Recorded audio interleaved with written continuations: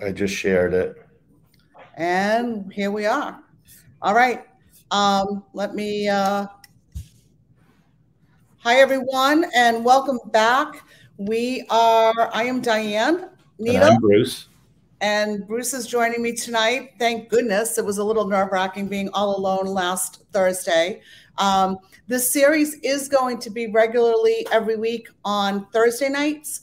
Uh, but because we have a client party tomorrow night, Thursday night, we had to move this week's to tonight. So um, if we don't get the, if anyone misses it, it's okay. I think it'll be recorded on our page um, and it'll stay up there if you miss anything.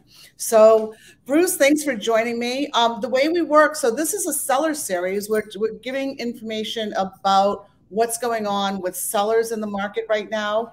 I know you've probably heard of buyer presentations and first time home buyer programs, but what we're finding now is that sellers um, who, who have owned their home for a really long time, they have a lot of questions. They haven't done it before, and we thought we would try to provide some value and just kind of talk about the market from a seller's perspective. And Bruce, um, who is dealing mostly with buyers, um, tonight's going to provide some color on what buyers look for um, when they go and visit homes for sale and what might turn them off, what might make them bid over asking price. Um, and this is going to, in my opinion, provide a lot of value um, for when you are getting ready to sell and things like that. Um, when we, um, there was a slide that I put up last time. Let me see if I can get that on. Um, illustrating the, um, let me hit my share screen. I'm still, um, oh, I am, I think I am sharing. I think I just need to do that, right? There we go. Um, and I can do this right here. Um, Bruce, you can see that slide? I can. Yeah. So this, a very provocative slide showing um, what has been going on in the market months inventory of homes for sale. That neutral market right in the middle is when we have six to seven months of inventory.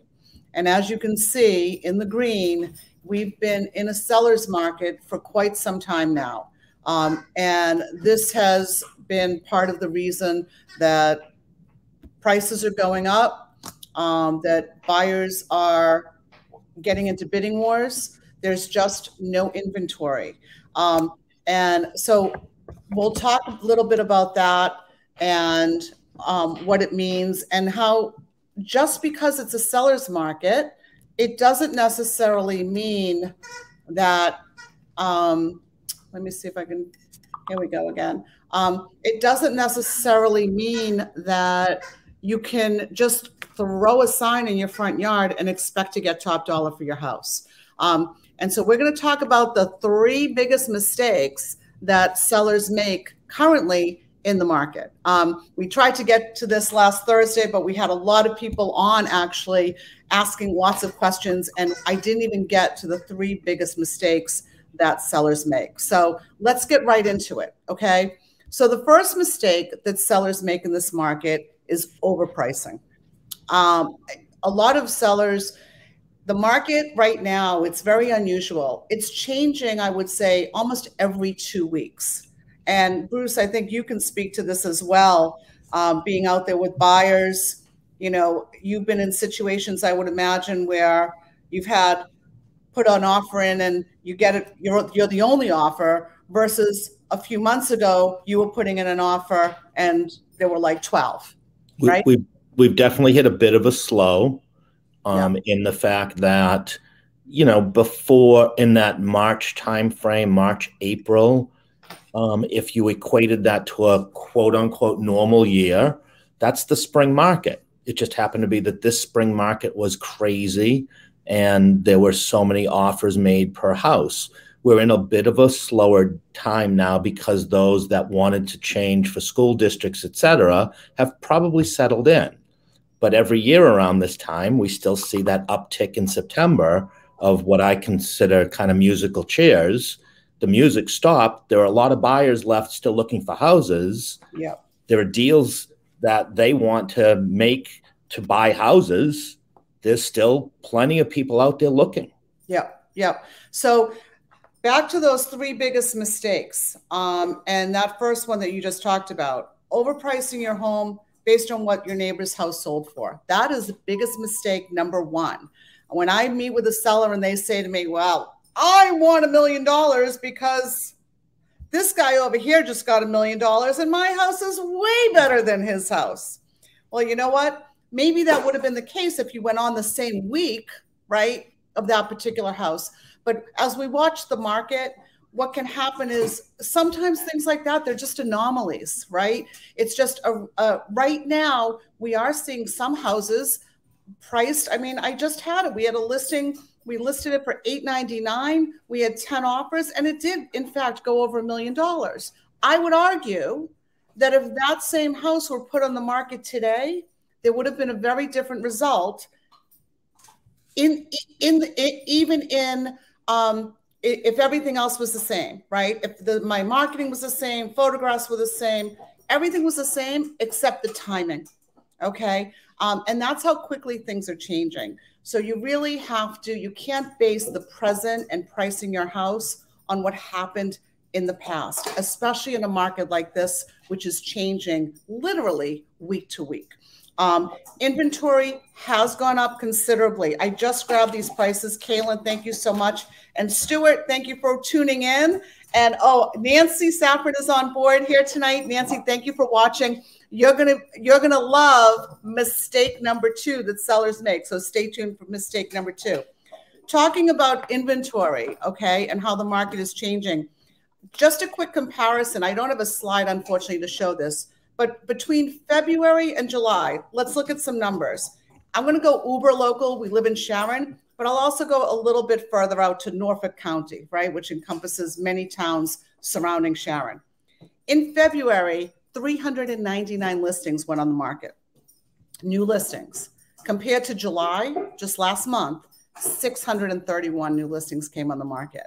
So even though the slide I just showed shows that we're still in a seller's market, we are still we're now experiencing way more inventory starting to come on okay so it's different still a seller's market but a lot more coming on homes that got offers in february 433 in norfolk county 547 in norfolk county in july and let me just do that uber local number in sharon in february we had 16 new listings and in july we had 25 not quite double, but it, it's getting there. Um, and I would argue that August, we're seeing even, we're going to see that number increase even higher. Um, and check, this is amazing. The amount of sold, um, I have to laugh. I have a puppy. So if you hear this crazy noise in the background, he's eating his water dish. So um, you'll excuse the, the, the, puppy shenanigans going on. Um, the sold houses in Norfolk County in February were 294. In July, 739 homes sold. Crazy. Um, so that's what we're seeing changing in inventory. And we have, you as a seller, have to be really cognizant of that and talk to a professional in your market so that you know what's going on and you don't make that mistake of overpricing.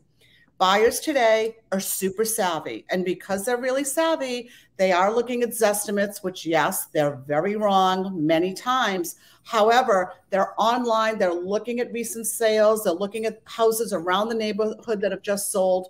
And if you overprice your house, buyers are going to walk away. They're not, they know, they know the market very well they're more educated than any other generation we've had when it comes to buying because of all the data that's online.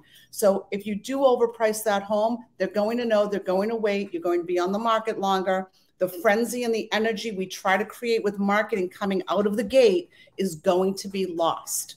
And as I tell sellers all the time, the real estate agent you hire does not price your house. The market prices your house. If I if your house is truly at market value and worth $800,000 and I put it on the market for $600,000 because I'm a total dope and have no idea what the market's doing, it's not going to sell for 600,000. So that's where, but, but if you overprice it, you're not going to get the eyeballs on it. So I just, that's mistake number one. All right, Nancy, I hope you're listening. Um, Nancy is my go-to stager and knows how to make things beautiful. And she said something recently. If you want to type it in the comments, Nancy, you said something about paint. Um, and it, it, was a great line, and I don't remember it. So if you want to type it in the comments, I'll, I'll bring it up if I even know how to do that. So I can try. Um, all right. So mistake number two is choosing not to declutter and to de-decorate and to present your home in the best light. That is biggest mistake number two. Again, just because it's a hot market doesn't mean that you can not present your property as as as best as you possibly can. Mm-hmm. Again, one thing, in addition to buyers having a lot of knowledge, they do lack one thing. They lack imagination. There we go. There we go. Here it is. Let me see if I can bring this comment up on the screen. Nancy says, Dianne and Bruce, I tell my clients paint is money in a can. I love that line. How true is that? All right. There's no there's no quicker fix than painting a house that's either dark or you you might need not even think that it, it's shabby looking until you actually get that coat of paint on and then you realize wow, it really did look a little dingy, didn't it? Um, so paint does wonders. But decluttering, we all live very differently than we sell. Okay. Um, if I needed to put my house on the market right now, trust me, I, I, I, I would be doing myself a disservice if I didn't do a lot of different things to my house. We have to take away the things that are beautiful to us, that are important to us, that are personal to us, get them away. Um, we, we recently um, saw a house with gorgeous, gorgeous, very, very expensive furniture, but it was big and it was heavy and it was dark. And if we can lighten up a room, I recently, we had it with Nancy, you and I worked on a project where we staged a home. The first thing we did was we removed heavy curtains, right? Heavy drapery. We also removed the carpeting where there was gorgeous hardwood flooring underneath. Um, and we presented this house and the house, I would argue, it's not necessarily people will say, well, my house will sell if I don't. It, it's such a great market. You know, anyone, someone's going to come in and buy the house. And you know what? You're probably right. They will. But you will you will leave money on the table. And that is the the you know, what do sellers want the most? You want the most money in your pocket. You want to net the most money and walk away from the deal with the most money.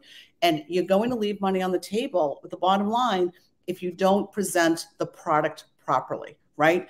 Same with like if you go to sell your car. If I go to sell a car and I've got my, you know, my wrappers from my power bars and my cans of soda and dog toys everywhere and it's dirty, no one's going to offer me top dollar for that car. But if I get it detailed and it's beautiful and it's shiny and it looks completely well maintained and like I never had a pet in that car ever, I'm going to get a better price for it. It's the same thing with your house. So don't ever be insulted when someone tells you get rid of this, get rid of that. It's not about your taste, it's about decluttering, de-decorating is what I like to call it, so that your house appeals to the most amount of buyers. Bruce, what do you have to say about that? I've been talking a long time. Tell me about your buyers. I I I am noticing that buyers need a little nudge in the imagination realm um, I try and nudge them myself, but they need to be able to walk into a house and see kind of that blank slate, that empty canvas. And when we walk into a house that Nancy has staged for you, you can see that there's space in the room. You can see that the walls are neutral colors. You can you can envision yourself living there. When we walk into a house that's dark and over cluttered, they get turned off a bit by it. Yep, yep. Um, there's there's also I, I would I would say that one thing we've learned too is things like um, um, buyers don't know how much things cost to fix. Very true. So we, we we're so close to it because we're all in the business. They don't realize that you know to remove carpeting that's covering hardwood floors does not cost a lot of money. But if you walk in, if they walk into a house and there's wall to wall carpeting everywhere and it's old wall to wall carpeting, they don't, no buyer has ever walked into a house and said, is there hardwood flooring under that hideous rug? Fantastic. I love it. They don't. All they do is they see the carpeting and they go, oh, this carpeting. Yeah, we don't like carpeting. And they don't they don't want that project, right? They think it's a big project. So for our sellers to endure the inconvenience of getting their house ready, now they risk so much less because that buyer is now going to come into their house and go, oh my God, look at these gorgeous hardwood floors. This is amazing. Um, so anyway, so that, excuse me, sorry. um, so that is biggest mistake number two, okay? Anyone want to guess in mistake number three? All right, so mistake number three is listing your home with an inexperienced agent family member, or friend. Um, I would argue that everyone, everyone knows a real estate agent. The problem is that you want to find a real estate agent who's in your market. And this isn't a pitch for me because we don't list homes everywhere. We know our market and we're really good at our market. But you need to, this is your biggest asset. And I can tell you stories, many stories where agents have I'm going to I'm going to introduce somebody to the camera because he's driving me crazy. All right, everyone say hi to Rocky. Rocky, take a look. All right, this is Rocky. Um, he's scratching at something. But the biggest that the you can't you can't um, as they say get the toothpaste back in the tube. And that's how I feel about when people sometimes list with somebody who's inexperienced they don't know the market, do your research. Because if you list with somebody, the cat's out of the bag, right? Once that house goes on the market, either at the wrong price or not presented properly, and you have to go off the market and then back on the market, there's something called market aging, right? And you, again, you miss that excitement, you miss all of that, and it really affects the value of your home and what you're going to put in your pocket. So don't make that mistake. And there's lots of ways that you can get out of doing something like that. We have helped people. We've been told by people, oh, but my sister's a realtor, but this one's a realtor. And there's there's all kinds of techniques and tools, you know, to say, you know, there we can give a referral fee to somebody is what we've done in the past. We can have a conversation. We can co-list. There's a lot of things you can do to sort of finesse the um, um, the the the the so you don't insult anybody, right? So that you you save take the sting out of it. And yeah, what was that, Bruce? You take the sting out. Yeah, you take the sting out of it. There's a lot of different ways to do that. Um, yeah, there you go. Or no agent at all. Yeah, Stu Stu Stu mentioned not using an agent at all, and we can tell you. Let me tell you. So we'll tell you a few stories about sellers that don't use agents. As a buyer agent, and I represent buyers as well as Bruce does. come here, come here. this is so challenging.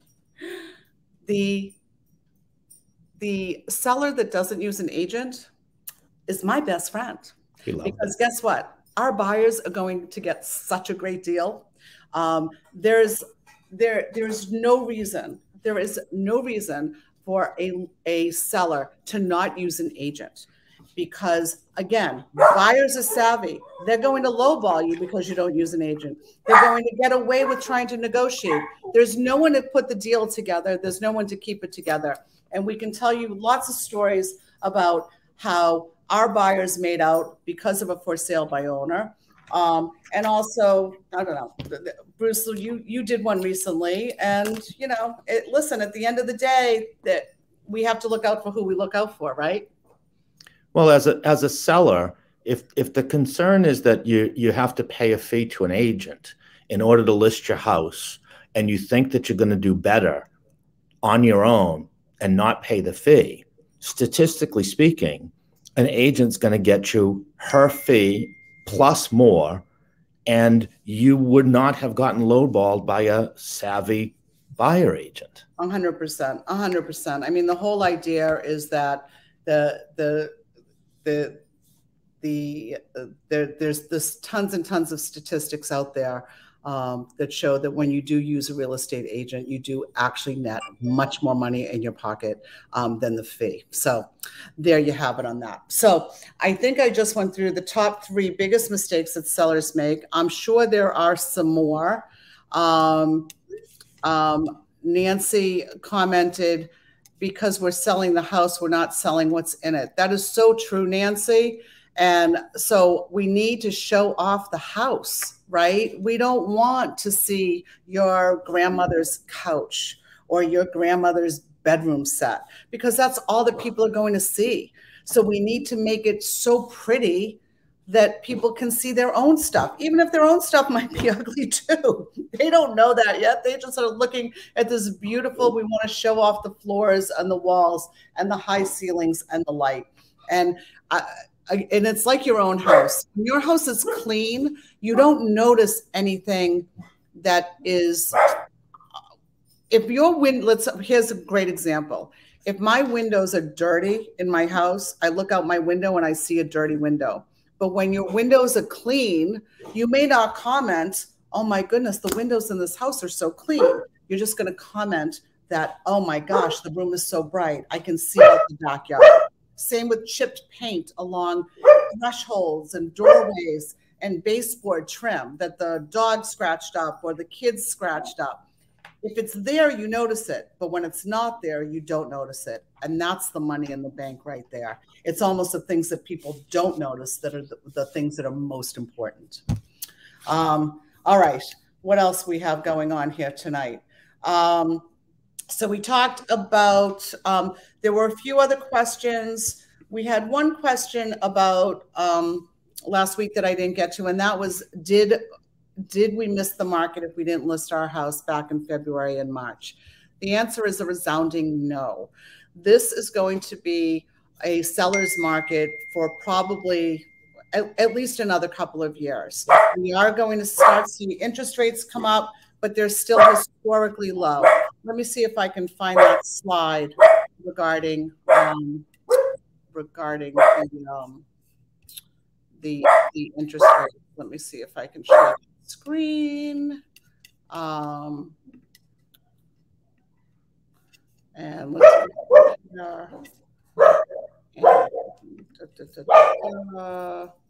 here we go. All right. I mean, this is just unbelievable, right? Hold on. There we go. 2021 mortgage rates. They're still hovering, and I believe they just had a little bit of a, a of a dip even in July, they were 2.98% for that's for a 30 year fixed rate mortgage.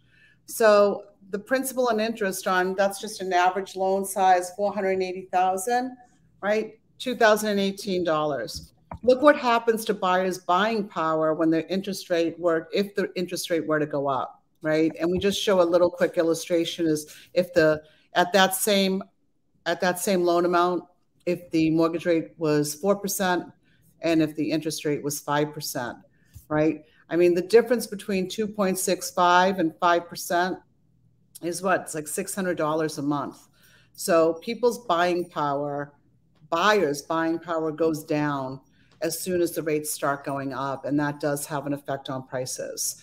So if you if there are if you are if you are a buyer out there um, or you're an agent and you are working with buyers, now is the time to tell those buyers to get off the fence. We just showed you that that the the the um, the market is the um, the inventory is going up. So it's a great time. Those disgruntled buyers that like left the market because they were getting, you know, beat up and they weren't getting their offers accepted and they couldn't compete because maybe they were 10% down instead of 20% down, or they were first time home buyers and they no way would they ever waive a home inspection.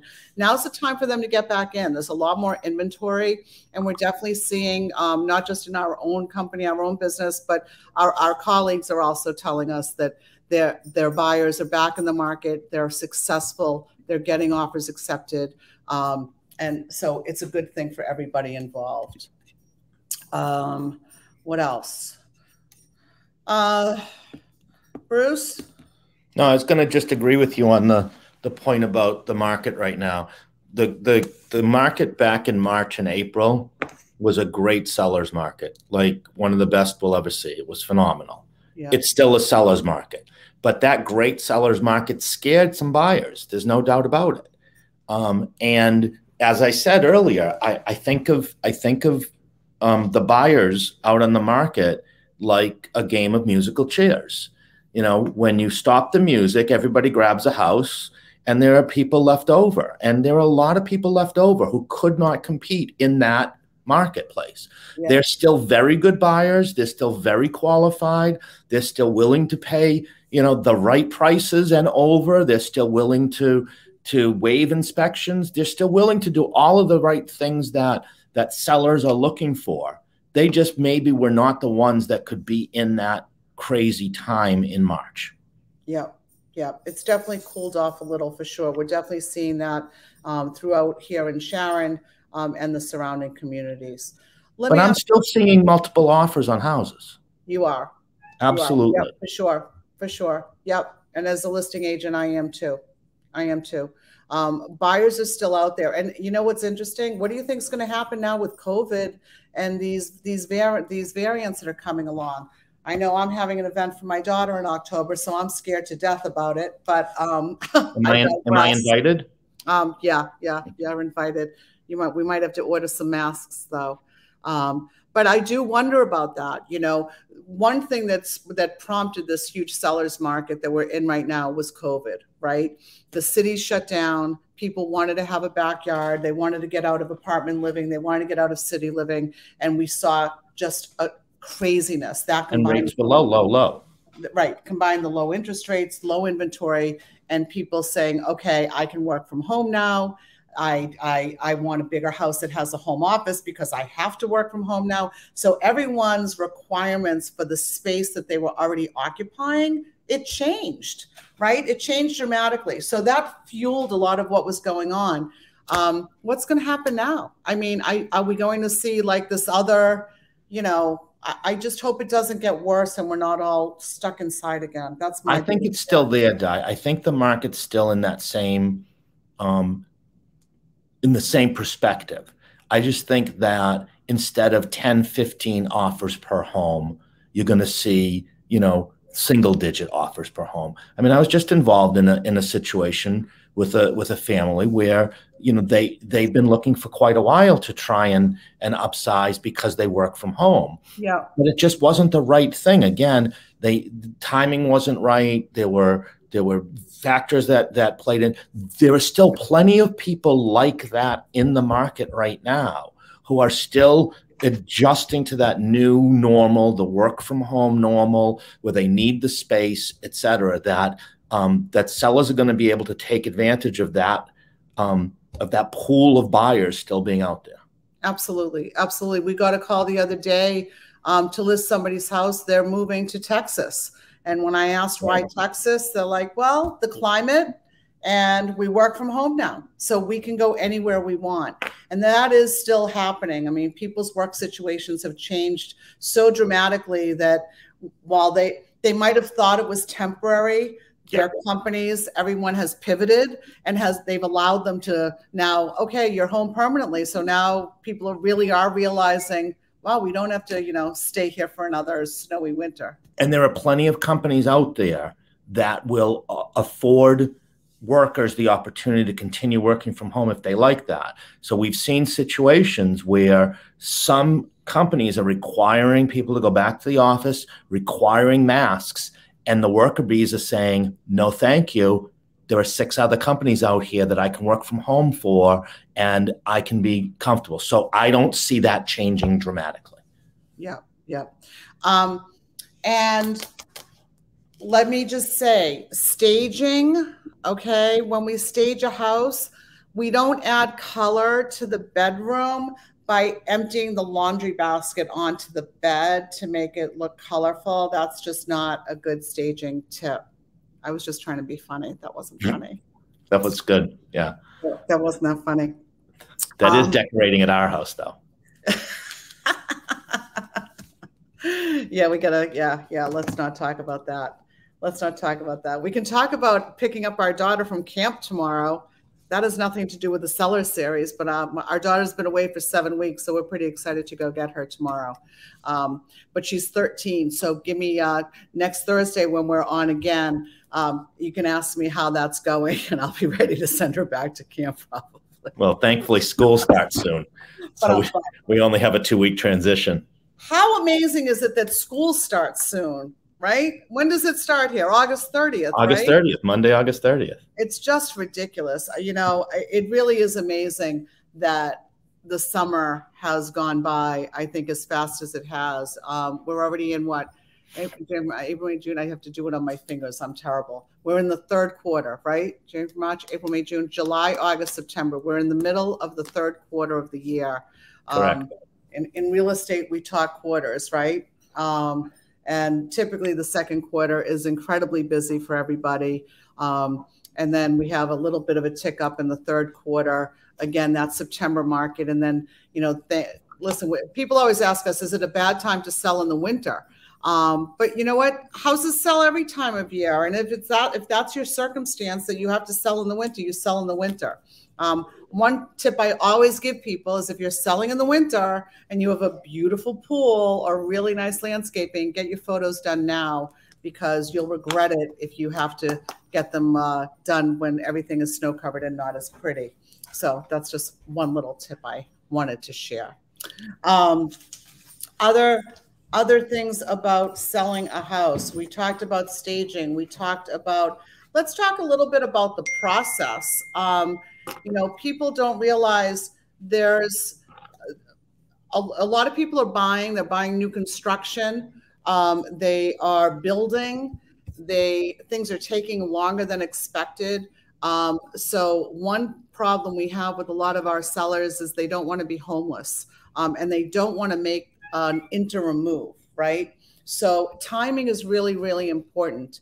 And in a market like we have now, if we do our job right, we want to we're going to sell it quickly right? We want to sell it within the first 30 days within the first two weeks even of when we hit the market even the first weekend right? In a market as hot as some of the markets we're in right now. So if that happens if we were to put a house on the market today today being august 11th you're looking at probably august september an end of october closing date when you would have to be out of that house right? That would probably be average so, you know, keep that in mind if it's something where you want to be out before the winter. Um, you have a few more months to get that accomplished if it's before the holidays and you want to be in your next location.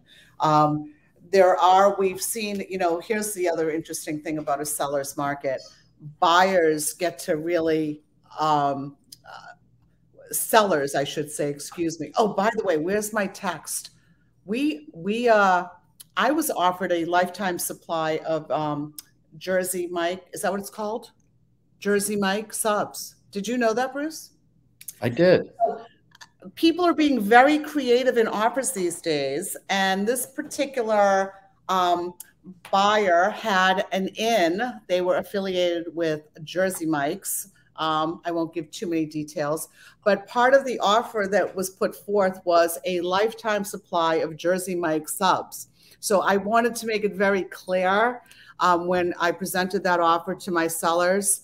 Um, whether or not that offer, I did call the agent to confirm, was that a lifetime supply for me or was that a lifetime, lifetime supply for um, for my sellers. And Bruce, I don't eat Jersey Mike subs, so I, I was asking really for you because um, I know you just went to that place in Walpole and really liked it, right? It, it literally just came up to the Boston area.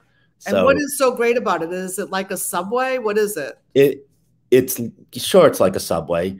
Um, Subway's known for for baking their own bread, but Jersey Mike's what they do is while you order your sub, they're they're slicing it like on a deli slicer oh, at the time. So that's right. So the, that's right. The meats are very very fresh. Um, that part's really cool. Uh, you know, it's just it's it's another decent concept. I, I asked him, and you're absolutely right because because I was I went in there and it was really crowded, and I literally just went in to get a drink, and I said, "What's the concept?" And and he explained that the concept is it's like your old-fashioned deli, um, where they're slicing the meat and it's fresh, but it is on a franchise level. So that's exactly. They are it. coming to Boston. They're going to be opening north of Boston. Yep. Um, there's one here in Walpole, which is right next to Sharon. Um, and uh, there's yeah, one in Dedham. So, yeah, they're coming up. My, so, my my one mistake the first time I ever went in because I, I like an Italian sub. I ordered an Italian sub the way they they make it, and it it. Can we tie this back into sellers somehow? somehow, and it it just it dripped all over me, and I'm like, I don't like that. So now I had to learn how do I order what to order. You know, I was just think you just made me think of something. What do people do when they're selling and they have pets? As my pet is making a mess of my house, what do they do? That so there was something else that um, this was a line that I used, and it still remains true. If a buyer can smell it, I can't sell it. right? There is nothing worse than buyers walking into a house and saying, What's cooking smells, smell? things like that. What's yeah. that smell? Now, listen, it's going to be a problem years to come because everyone during COVID, not everyone, but a lot of people got pets, right? Everyone needed to get what they call the COVID. No tie, Tim Macy. How are you? Welcome, welcome. Everyone had to get a puppy over COVID. I got one post COVID, so I'm guilty, but he's not really a COVID puppy. Can maybe kind of, sort of.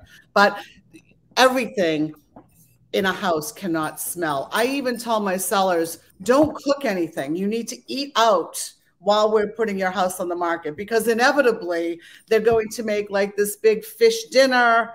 Um, I remember this is a funny story.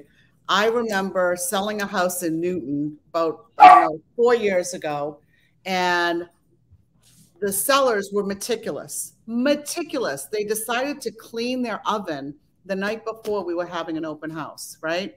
So they put on, I guess, the self cleaning tool or whatever. Well, they hadn't done it in a while. It smelled like smoke or cleaning material or something. The next day at that open house, everyone walked through that open house, went, Do smokers live here? Oh my gosh, I was horrified, horrified. They never smoked a day in their life, these guys. And yet that happened because they tried to be really good and meticulous and clean their oven before the open house, but it backfired. So don't cook anything, don't burn anything um, before an open house. You are required to go out to eat for the week before we put the house on the market. Or make cookies. Or bake bread or bake cookies or bake something that's like smells really pretty. Because realtors like cookies at open houses. Yeah. Or at least this one does. Yeah. Well, speaking speaking of food, right? We're we Bruce when, when where did we used to go for lunch a few years ago? Do you remember that? Open houses. Oh, yeah, back, back when back when that was a thing. Yeah, we would when, we back, would shop the market for the best the best open house lunch for the so broker back, tour. Right, back when there were open houses, um, we would do there was something called broker tours typically and in sharon again they've stopped because of covid but I, they're starting to come back a little. But in newton there were broker open houses. In needham broker open houses. In sharon there's a broker. And it's a tour right? And we go from house to house on the new listings and the agents are to preview the new listings so they can talk about them to their buyers. And it's another way that listing agents market their properties. Well whether or not Bruce and I had a client in Newton for a particular house, we didn't care. We just kind of scrolled through and said, "Oh, look at honey, they're having sushi." so true. We had some really good lunches at some of those open houses, right? So true. Yep. Um, yeah, that's pretty funny. That's pathetic, but that's true. That's true. Someone suggested baking a spice cake. That's a good idea. Thank you, Adam. Where did Adam write that? in the comments. Oh, too much air freshener. That's a good one. Let's let's let's show this comment. Hey Tim Macy. Tim says, "What about having too much air freshener?" Well, honestly, that's just as bad as as something smelling really bad. I totally agree. You know, a lot of our clients we go into a house and they're burning candles on the kitchen counter.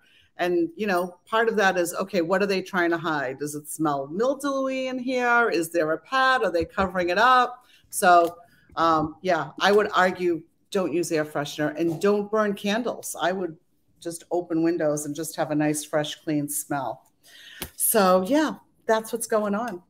Uh, what else do we want to talk about today, Bruce? What else you got? Any questions from the from the peanut gallery? Post some questions for us.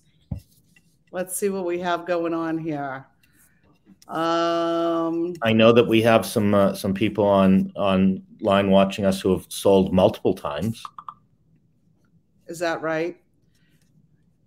And what I'd like to know, you know, here's the other thing too, is what is the we have to ask sellers what is the hardest part about selling your house or what's the scariest part that's what i want to know right what would would would people who have sold before or are planning on selling what's been the hole in the process for you what have you not liked about it or what scared you and then you weren't scared anymore right post some of those post some of those comments because i think that would be really interesting um, we're always trying to improve what we do. And I think that um, what we have found, Bruce and I have found, is that once we talk to sellers and they know the process and they have someone that they trust, they kind of take a, a deep breath. They might not have a place to go yet, right? But they feel like they've got someone in their corner rooting for them that they can call and say, you know what? Should I leave that table? I was thinking of selling it. I'm not going to bring it to my new place or whatever. And they just have someone to throw ideas off of. Would you agree? Yeah, but I also think that that they need to know that they're not in it alone. That that when they think something's daunting to be done, it's not that big a deal. Just like you said earlier, when buyers walk in and say, "Oh, there's carpet, but there's hardwood under there." Oh my God, that's a big deal. It's not a big deal Sellers the same way. I need to declutter my house. Great. We've got people who can help you do that. I need to get a dumpster. Got people who can do that. I need to paint a room. We've got people who can do that. Like we've got a whole and list I, of and I, I, always find it's not as expensive as as they think it is either, right? It's not no. as pricey. As we know, we we're not going to ask a client to invest X if they're not going to get X plus. Yeah, yeah. What would you say, Bruce, in bringing buyers for sellers? What's the what are the let's try to think of what are the three biggest things that sellers should do from a from a systems perspective not not from a prettying right we talked a lot about that about organizing the house decluttering making sure it's clean and staged and and all of that stuff but what about the systems what about the stuff that um, you never pay attention to i mean we never pay attention to in our house right like the AC or heating, roof, attic.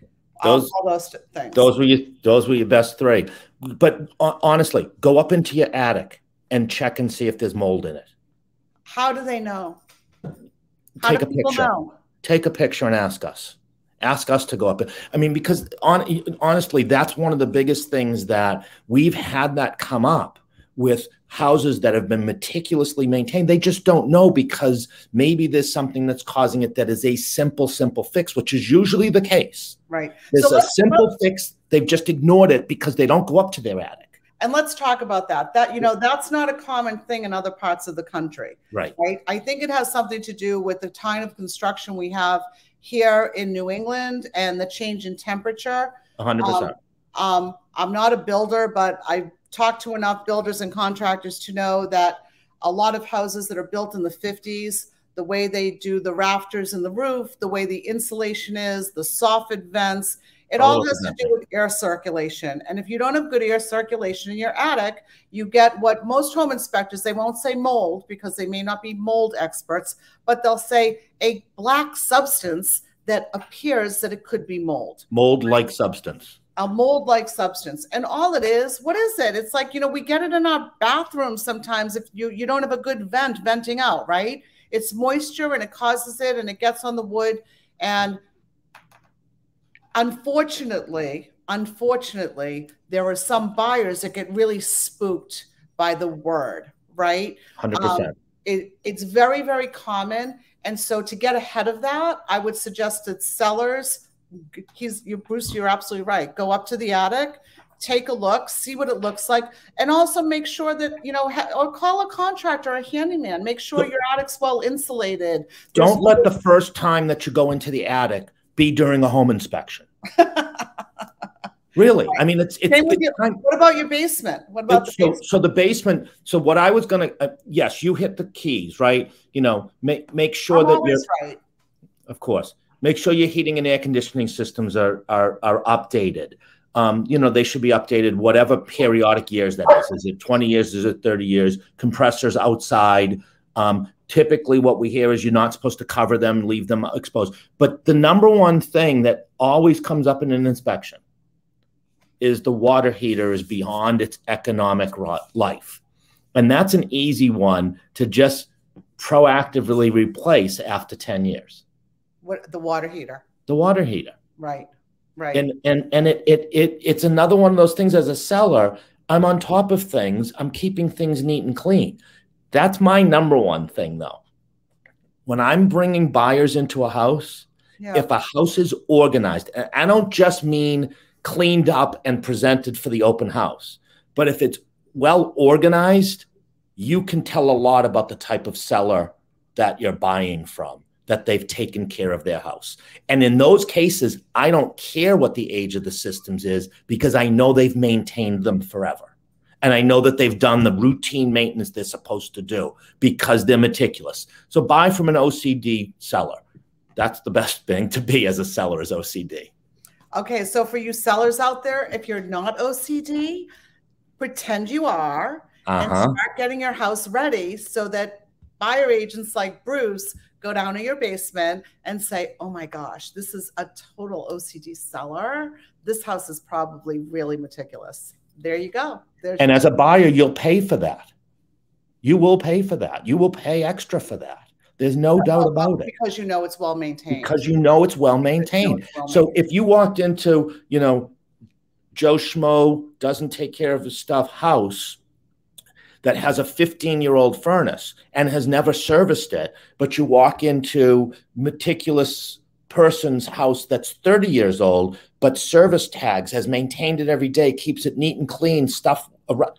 That 15 year difference in, in uh, age makes no difference because of the way that it's been maintained. Yep. So listen, you know, we've been joking a lot and talking about, you know, some fluffy things like like, you know, decorating and painting and things like that. But in all seriousness, there's an awful lot of emotion involved um, in selling homes. And I can tell you that over the past few years, um, probably some of the most, um, the, some of the proudest moments of my career have been um, knowing that I've helped sellers who have either experienced a death in their family, um, they have had to move to assisted living, um, they um, they've been children and their parents have passed away and they've had to sell the family home, um, and honestly, like knowing that we're bringing such value to those sellers and at such a time that I can't even tell you where we we we're not real estate agents at that moment. I am a friend, a confidant, um, um, a therapist, just a, a, sounding board, really. And it's like anything. We're just really being someone there to to to help them get through and get on to their next stage. And it's it's hard. It's just hard. It's very emotional. And um, I can tell you that you know I've been in tears with some sellers, just sitting there listening to their stories of why they're selling or why they're moving. And nothing makes me happier than knowing that, don't worry, I got your back. You know what I mean? And seeing sort of this sigh of relief on their face that is, um, that they're, they're just like, thank you, you know? You know, I, I think, you know, sometimes it's, you know, if God forbid you're sick and you find a doctor that you really trust and you know he's going to help you and you're going to listen to his advice, it, it's kind of the same way. It's not life or death like a doctor and an illness, but it is um, it is getting somebody to move on to the next step. Sometimes there's a lot of paralysis where they, they know it's daunting, Um, and they don't even want to make that first phone call. So a lot of times we'll go to the, we'll find those people because of a referral, um, and people know that they'll be well taken care of, and um, that we, you know, we deal with people with, you know, with warmth, with humor, because um, we're human. I mean, everyone's human. There's a human element to all of this. It's just life is hard, right? Life is hard. Life is full of chapters and transitions and um, high moments, good moments, happy moments, and very, very sad moments and and sad times. So um, that that's a big piece of um, of what we do, and it's um, and and when it, and when it's done, you know, it's it's very very satisfying, and perhaps for you know the seller, it's while it begins emotional and then it ends up okay you have to stop it's um i don't know. I just wanted to i just wanted to mention that that it's very it's not um on the buy side bruce you have sometimes a much happier job than i do right? It's always because a happy job. people that are buying are excited right? it's always a happy job. I'm, I'm helping selling sometimes they're not as happy right? right. I mean i mean if they're going to their next place and it's because they're selling and buying a bigger house or if they're selling and moving because of a promotion or a new job. But a lot of times people are selling for very different reasons. Um, right. they're not all they're not all the happy next chapter. No no. But most people are not i would say it, it, it's less on the buy side, right? No, no on the buy side, like 99% of the time, it's a happy experience because it's their first house it's an upsize in a house it's moving to a new town that that they've just you know they've just established themselves. I mean i deal with a lot of first time buyers. That's as exciting as it gets you know um, yeah. to, to have you know kids that could be my kids you know buying a house and needing advice and and you know that that i take on a, a paternal role in those. But you're right. I mean it's on the buy side, it's definitely a happy experience. You, you don't look old enough to take on a paternal role. That, I, I was kidding. I'm not. Okay, we're back to Rocky because he's he's barking. Um, I could never sell a house with this puppy. He's very cute, though, isn't he? Isn't he very cute? He's very cute. They're a lot of work. Bruce, thank you for staying married to me, even though I got us a, a second dog. Not long.